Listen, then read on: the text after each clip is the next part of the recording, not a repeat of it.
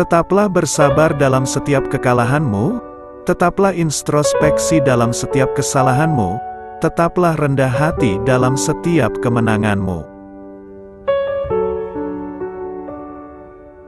Introspeksi yang sebenarnya adalah mengetahui kekuatan dan kelemahan, jadi bukan hanya kelemahan. Ketika masalah menghampiri, tak perlu ribut mencari siapa yang salah, tapi introspeksi, perbaiki agar tak terulang lagi.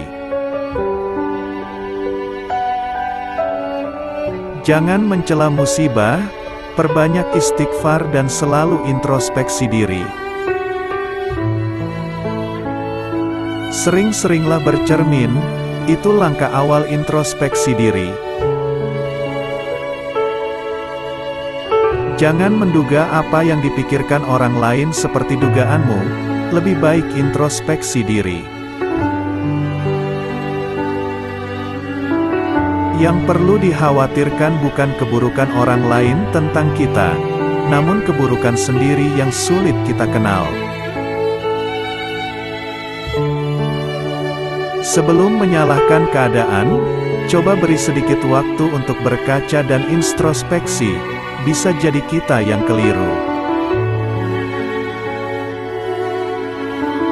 Setiap orang bisa menjadi juri, tapi tak pernah evaluasi diri sendiri. Tantangan terbesar seseorang adalah introspeksi diri dan mengendalikan diri sendiri. Terima kasih.